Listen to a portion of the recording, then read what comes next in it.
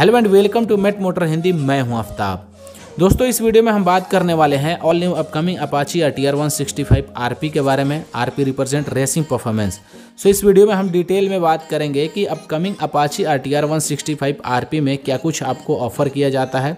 इसमें कौन कौन सी फीचर्स को ऐड किया है कंपनी ने including engine specification suspension braking system graphics lighting setup and all so so, इस वीडियो में हम देखते हैं कि ये गाड़ी क्या अपनी प्राइस को जस्टिफाई कर पाती है नहीं क्योंकि काफ़ी सारे लोग इसको ओवर प्राइस्ड गाड़ी बोल रहे हैं। इसमें टोटल सात सबसे बड़े बदलाव किए गए हैं जिसके वजह से ये गाड़ी का प्राइस थोड़ा सा महँगा हो गया है। सो so, वीडियो का एंड तक देखिए मैं आपको आगे बताने वाला हूँ और साथ ही साथ इस चैनल पर अगर पहली बार आए हैं तो चैनल को सब्सक्राइब कर ले मैं आपके लिए ऐसे ही कॉन्टेंट लेके आते रहता हूँ।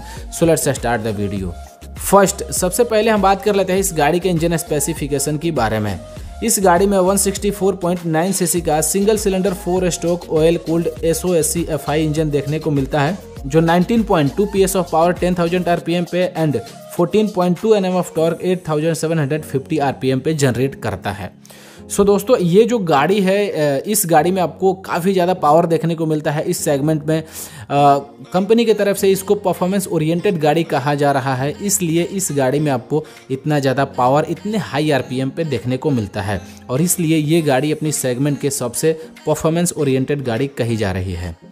दूसरा दोस्तों हम बात करते हैं कि इसमें सेकंड क्या चेंज हुआ है। तो सेकंड इसमें आपको ब्रास कोटेड चैन देखने को मिलता है चैन एंड स्पॉकेट देखने को मिलता है like Apache R R three ten ये क्या होता है, मैं आपको बता देता हूँ। आप स्क्रीन पे देख रहे हैं, जो चैन जो ब्रास चैन कोटेड जो ये चैन होता है, इसमें आपको कभी जंग नहीं लगता है, काफ़ी लॉन्ग लास्टिंग होता है।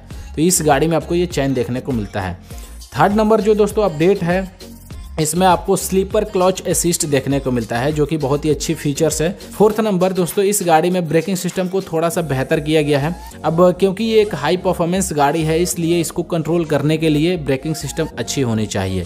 तो इसलिए इस गाड़ी में 240 फोर्टी mm का डिस्क ब्रेक रियर में देखने को मिलता है। अपाची आपको नॉर्मल वाली में स्पेशल एडिशन में 200 देखने को मिलता है। और इसमें आपको 240 को देखने को मिलता है तो इससे आपका ब्रेकिंग सिस्टम जो है वो थोड़ा सा बेहतर हो जाता है। फिफ्थ नंबर अगर अपडेट के बारे में बात करें तो इसमें आपको न्यू रेसिंग ग्राफिक्स देखने को मिलता है, जो आप स्क्रीन पे देख रहे हैं। देख रहे मतलब काफ़ी स्पोर्ट्स की गाड़ी लग रही है ये।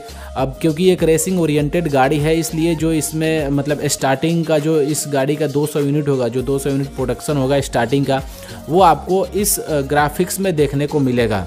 जो आपको स्क्रीन पे दिख रहा है 200 के बाद आपको फिर नॉर्मल वाले जो अपाची में कलर आता है, उसमें आपको देखने को मिलेगा। तो अगर आपको ये ग्राफिक्स अच्छा लग रहा है तो भाई आप जाओ तुरंत भाई बुक कर लो। सिक्स नंबर अगर अपडेट के बारे में बात करें तो सोआ का सस्पेंशन सिस्टम इसमें दिया हुआ है।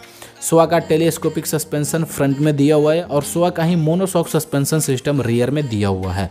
सोआ का दोस्तों जो सस्पेंशन होता है वो काफ़ी हैवी होता है, काफ़ी स्पोर्ट्सी ये सस्पेंशन होता है, थोड़ा सा कॉस्टली होता है, इसलिए बहुत ही कम ब्रांड इसको अपने गाड़ियों में यूज़ करती है। ये जो सस्पेंशन होता है, ये काफ़ी परफॉर्मेंस ओरिएंटेड होता है, जो सौ को प्रॉपर तरीके से और बहुत डीपली ऑब्जॉर्व करता है। रोड और टायर का कॉन्टेक्ट बना कर रखता है जिसके वजह से ब्रेकिंग सिस्टम काफ़ी अच्छी हो जाती है। काफ़ी कम दूरी में आप अपनी बाइक को कंट्रोल कर सकते हैं। सेवेंथ uh, नंबर इस uh, अगर अपडेट के बारे में बात करें तो इस गाड़ी में दो के जी वेट को कम किया गया है जिसके वजह से इसका परफॉर्मेंस काफ़ी अच्छी हो जाती है। इसका टॉप स्पीड भी काफ़ी अच्छी हो जाएगा। तो दोस्तों ये रहा टोटल सात सबसे बड़ा बदलाव जो कि इस गाड़ी में आपको देखने को मिल जाता है। तो आप देख सकते हैं कि यही सारे फीचर्स की वजह से इस गाड़ी का प्राइस 1.45 लाख रुपीज़ हो गया है। तो आप अपनी राय कमेंट सेक्शन में ज़रूर बताना कि ये प्राइस इस गाड़ी को जस्टिफाई कर पाती है नहीं। बाकी दोस्तों वीडियो को यहीं पे ख़त्म करते हैं। मिलता है फिर अगले वीडियो में। तब तक के लिए हेलमेट पहनिए सीट बेल्ट लगाइए और सुरक्षित रहिए। धन्यवाद।